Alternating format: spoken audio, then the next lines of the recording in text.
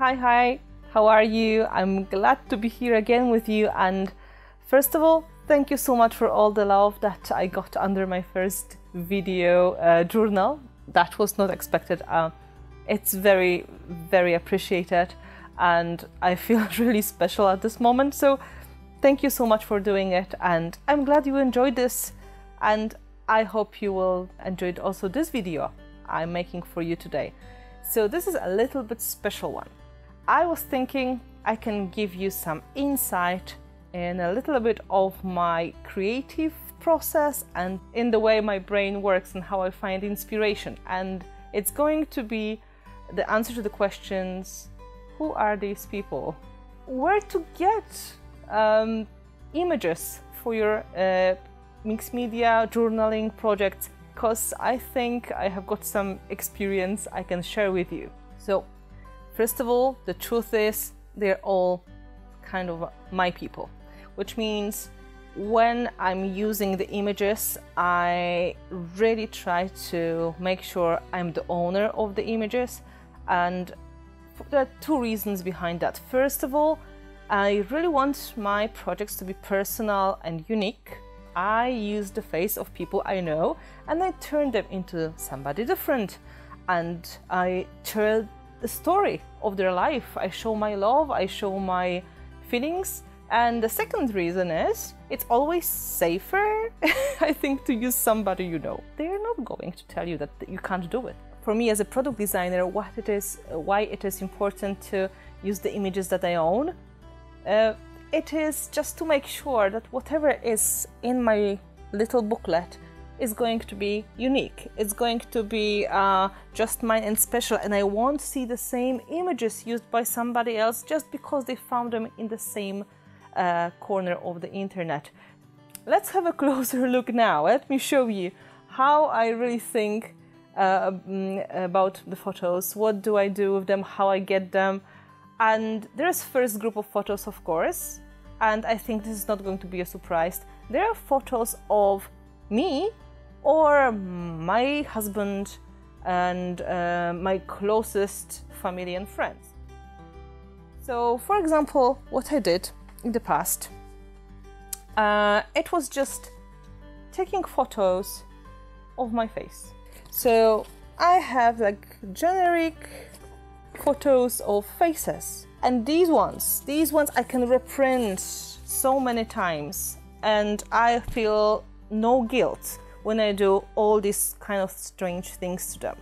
And because it's my face, it makes my product more personal.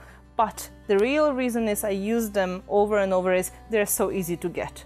So there's no problem in printing them in bigger size and creating collage like this. So this is the same face you've just seen before. I just paint over it and then you can't really tell who is on the photo. The same example. This is again the same photo you've seen before, just printed in a little bit bigger scale and you have it, right?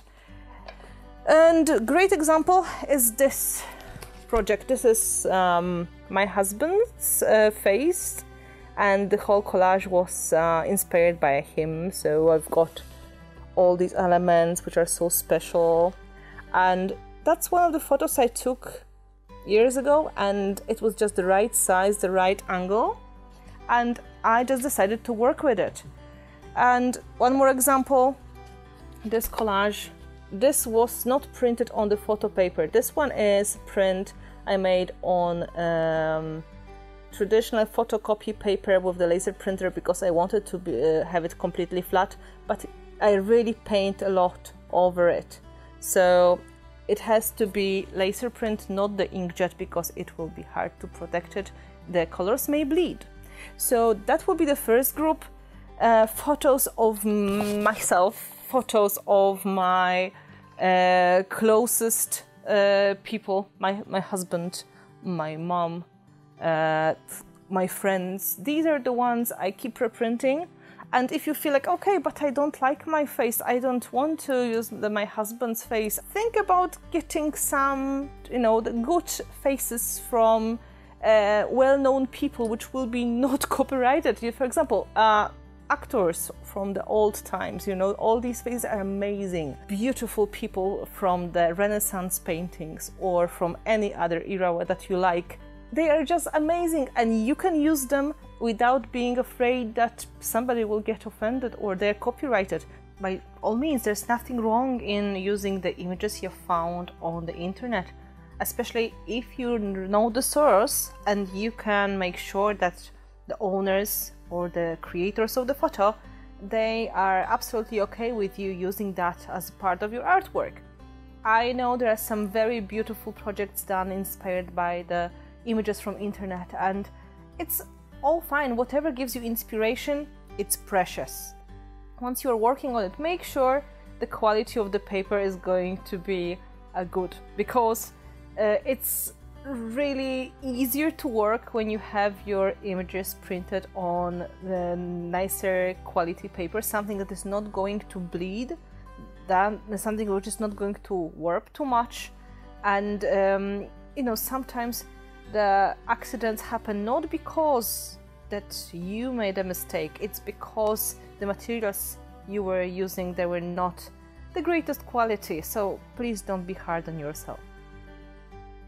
The second group of the photos they are old family photos the old family photos that i uh, copied.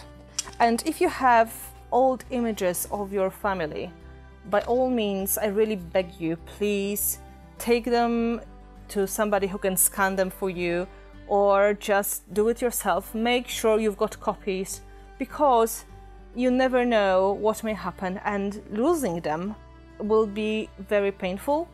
And I am the owner of a huge range of the family photos. I'll just try to show you uh, some of them. Yeah, I'm sure you can recognize some of these faces because um, some of my close family my grandparents, my grand grandparents, my husband's aunts and uncles, and uh, his grand and grand grandparents, they are all somewhere in our uh, pro- uh, in our products. The ones I made for Prima Marketing, there are some faces used, but also they are on my projects as well. So here I'm showing you the copies. They are not the originals, of course, I think this is also part of the fun when you're a product designer, you're able to put uh, some products, some images into people's hands without telling them what they are and to see what they're going to do with them, what they are going to uh, see in those pictures. They will make their own stories. What I was doing with my family photos, I was using them for journals, this is the way I work with the old photos. I just look at them and I try to um, try to tell the story I see. I try to show my love. I try to give you uh, some of the um, clues, maybe, to guess who the people are, what they were thinking, what they were doing, and uh, of course, there's uh, always very big open space for the creativity and for guessing and for playing. And as I said before, if it's your property, if it's your family, uh, or your friends, or somebody that you know, or you got this uh, image somewhere and it's now yours, you don't ha really have to be afraid that somebody will say like, you should not do that, right? Uh, that's why I really love working with uh, photos that uh, are my family photos.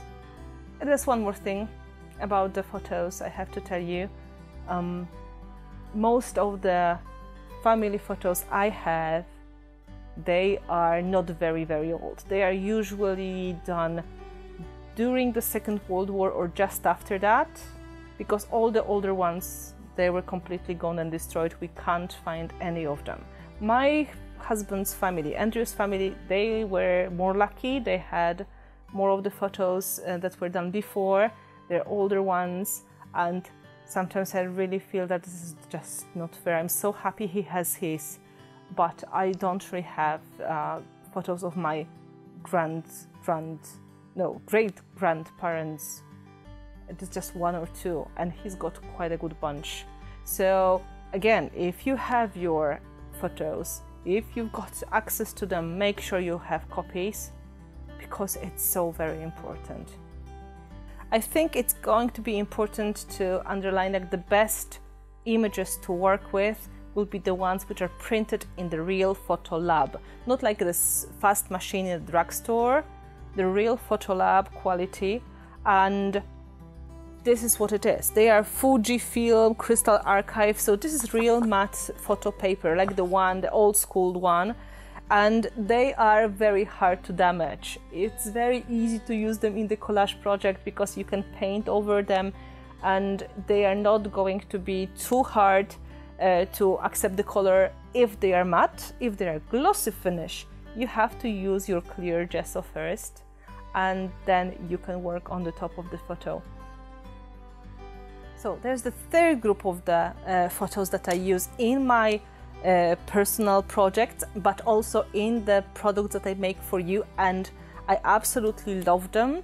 I can't resist when I uh, find them. They are my adopted family.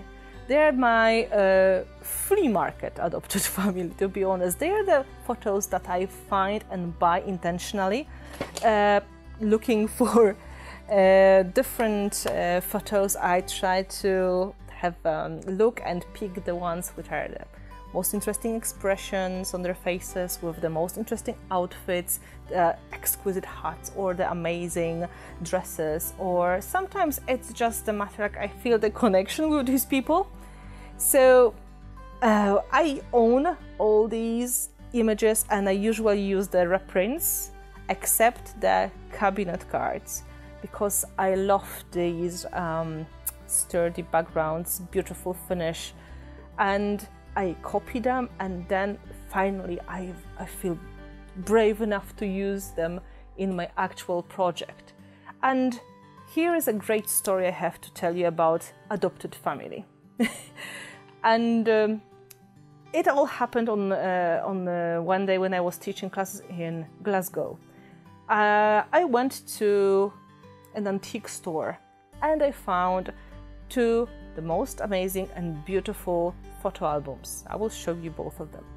And one of them was this one, filled with the old cabinet cards.